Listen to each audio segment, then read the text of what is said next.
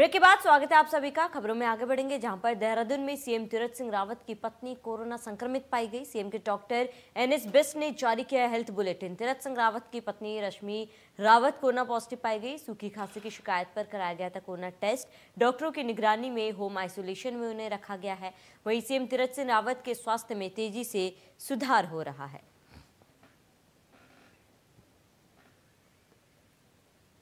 सामान्य खांसी की शिकायत होने पर आज देर शाम डॉक्टर रश्मि रावत धर्मपत्नी, माननीय मुख्यमंत्री उत्तराखंड का भी कोरोना टेस्ट कराया गया, जो कि पॉजिटिव आया है। उनमें अभी बाकी कोई लक्षण नहीं, उनको होम आइसोलेशन में रखा गया है। उनके सभी पैरामीटर स्थिर हैं।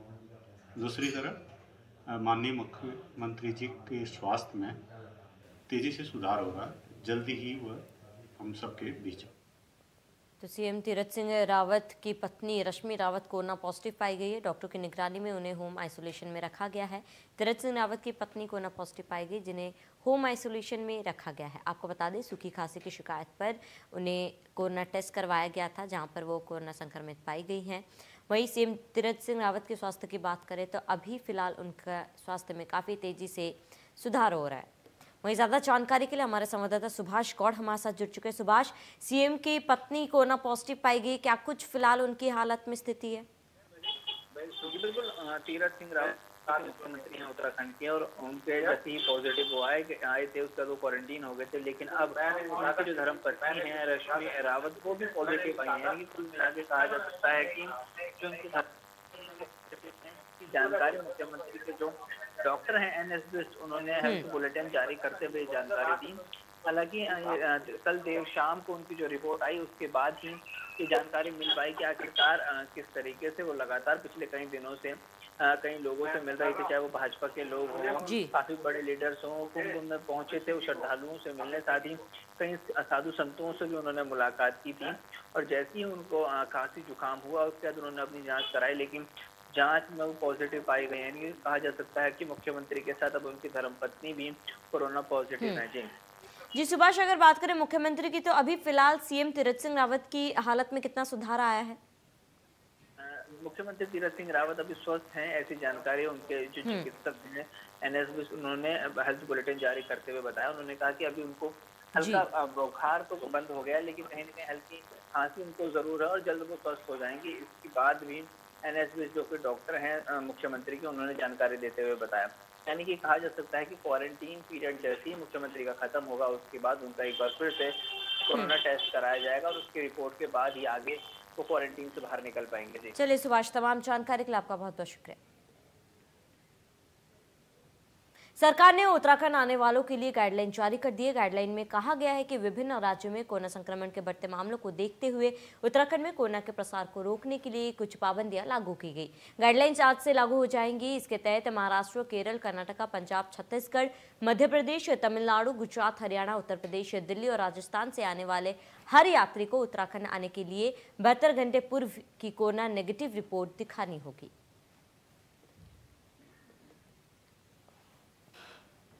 उत्तराखंड में कोविड की नई गाइडलाइंस जारी कर दी हैं, जो कि एक अप्रैल से लागू कर दी जाएगी। इस गाइडलाइंस में प्रदेश से बाहर से आने वाले सभी यात्रियों को उत्तराखंड में आने से पहले बहत्तर घंटे पुरानी आरटीपीसीआर की रिपोर्ट लेकर ही प्रवेश मिल पाएगा, जिसको देखते हुए मुख्य सचिव ने निर्देश जारी कर दिए गए हैं।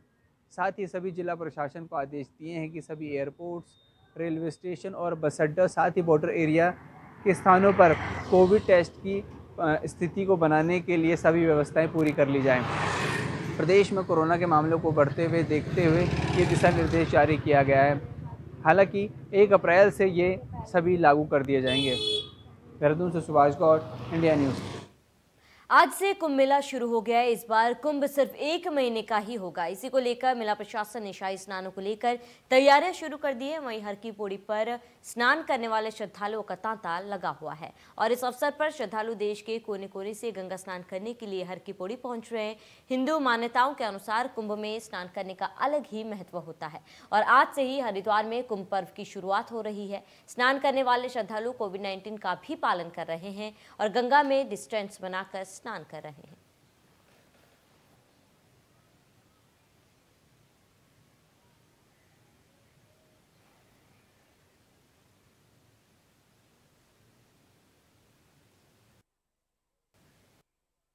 मायापुर नगरी में आए, हरिद्वार में, कुंभ मेले में 2021 में स्नान करने के लिए।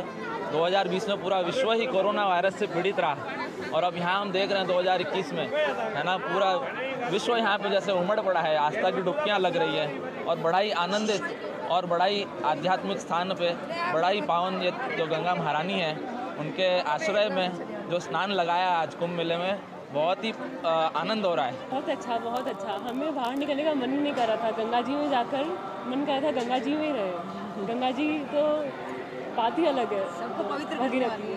सबसे पवित्र। हमारा रेलवे बढ़िया। आज एक अप्रैल से तीस अप्रैल तक गंगा स्नान है और यहाँ आके हमने गंगा स्नान करा हमारी फैमिली ने भी कराया और बहुत अच्छा लग रहा। है और मैं सभी श्रद्धालुओं से कहना चाहूँगा, आके गंगा स्नान का स्नान करें कुंभ का। और कोविड नाइन्टीन का जो भी पालन है, निर्देश है, उसका पालन करते हुए हरिद्वार में आज से कुंभ मेला विधिवत रूप से शुरू हो गया है। हर की पौड़ी क्षेत्र से कुंभ के पहले दिन जायजा लिया हमारे संवाददाता धर्मेंद्र चौधरी ने। कुंभ नगरी हरिद्वार में आज से कुंभ मेला 2021 की विधिवत शुरुआत हो चुकी है इस समय हम हर की पैड़ी पर मौजूद हैं। और कह सकते हैं कि कुंभ मेला 2021 का पहला दिन है। आप यहाँ पर नज़ारा देख सकते हैं कि यहाँ पर देश विदेश से जो श्रद्धालु हैं, यहाँ पर पहुँचे हुए हैं। सुबह से ही कह सकते हैं पहला दिन है और पहला स्नान का ये दिन है और बड़ी संख्या में श्रद्धालु इस कुंभ पर्व पर स्नान करने के लिए हरिद्वार पहुँचे हुए हैं। ये हर की पैड़ी क्षेत्र है ये वो ब्रह्म कुंड क्षेत्र है जहाँ पर अखाड़े स्नान करते हैं और हर आदमी की इच्छा रहती है कि वो अगर गंगा स्नान करने हरिद्वार आए तो यहाँ पर ज़रूर उसकी डुबकी लगनी चाहिए। तो इसी मनोकामना के साथ लोग यहाँ पर पहुँचते हैं और ये वो पर्व है जो 12 साल के बाद आता है और यही वजह है कि इस पर्व में हर कोई श्रद्धालु हरिद्वार पहुँचना चाहता है, डुबकी लगाना चाहता है। हमारे साथ पंडित जी मौजूद हैं, उनसे बात करते हैं पंडित जी से कि कुंभ मेले की आज से शुरुआत हो गई है। क्या मैसेज यहाँ से जाना चाहिए? क्या आपको लगता है पंडित हर हर गंगे, जय माँ गंगे। सबसे पहले सभी भक्तों को कोटि कोटि नमन, जय माँ गंगे। आज से महाकुंभ प्रशासन के द्वारा जो है कुंभ की शुरुआत कर दी गई है। अभी कुछ ही देर पहले मेला अधिकारी दीपक रावत जी, मेला एसएसपी जन्मे खंडूरी जी और अभी आईजी संजय गुंजाल जी, गंगा जी से पूजा अभिषेक करके गए हैं और कुंभ को संपन्न संपन्न कराने की कामना की है और साथ ही सभी भक्तों से आग्रह है कि हरिद्वार में जो प्रशासन और प्रशासन के द्वारा गाइडलाइन जारी की गई है, वो सुरक्षित कुंभ नहाएँ और भव्य और दिव्य कुंभ में आप देख सकते हैं कि हज़ारों की संख्या में श्रद्धालु आना प्रारंभ हो चुका है और गंगा जी में आस्था की डुबकी लगा रहे हैं और यही वो स्थान है जहाँ 12 साल में महाकुंभ का स्नान होता है।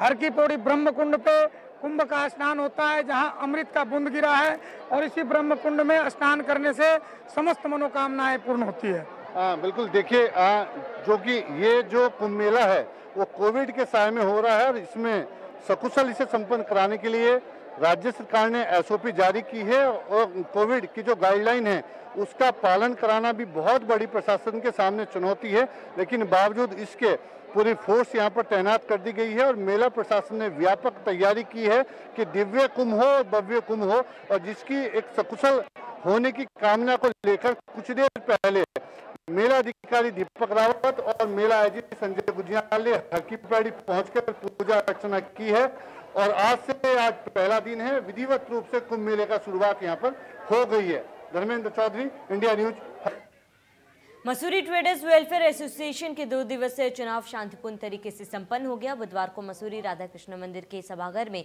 एसोसिएशन के महामंत्री और कोषाध्यक्ष पद के लिए चुनाव हुआ, जिसको लेकर सुबह नौ बजे मतदान शुरू हो गया, जो शाम तीन बजे तक चलता रहा।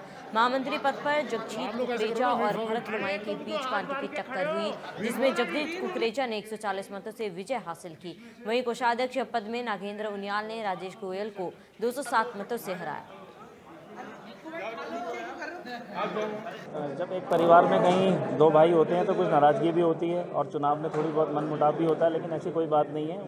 जो जीते हैं, उनको भी मेरी शुभकामनाएँ हैं और जो हार भी गए हैं, वो हमारे भाई हैं तो उनको भी हम साथ में लेके व्यापार मंडल में आगे बढ़ेंगे और चुनौतियाँ भी बढ़ गई हैं, क्योंकि अब जनता ने बड़े विश्वास से हमें जिताया है तो हमारे पे ज़िम्मेदारी का ज़िम्मेदारी भी दुगनी है और हम अपनी जिम्मे, अपनी ज़िम्मेदारी के साथ अपनी जनता की उम्मीदों पे खरा उतरने का पूरा प्रयास करेंगे और व्यापार मंडल को दिन दुगनी, रात चौगनी उन्नतियों पे पर ले जाएँगे। देखिए, आज हमारे कार्यकाल को 12 साल पूरे हुए। हम सातवीं बार नई पारी में जा रहे हैं। व्यापारियों की सेवा के लिए जा रहे हैं और इसका पूरा का पूरा पूरा का श्रेय जाता है वो व्यापारी वर्ग को जाता है। व्यापारी वर्ग ने हमें, हम पे इतना विश्वास जताया इसलिए व्यापारियों के बहुत बहुत आभारी हैं। और उम्मीद करेंगे आने वाले समय में अगले दो सालों में अपना चौदह साल का कार्यकाल पूरा करने के लिए हम व्यापारियों के लिए वो काम करेंगे जो अभी तक नहीं हुए हैं। पढ़ना शुरू हो गया था। तीन बजे तक वोट पड़ा।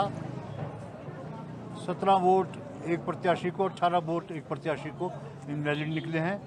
140 वोट से भाई जगजीत को घोषित किया गया जीता हुआ और 207 वोट से मुनियाल जी को जीता हुआ घोषित किया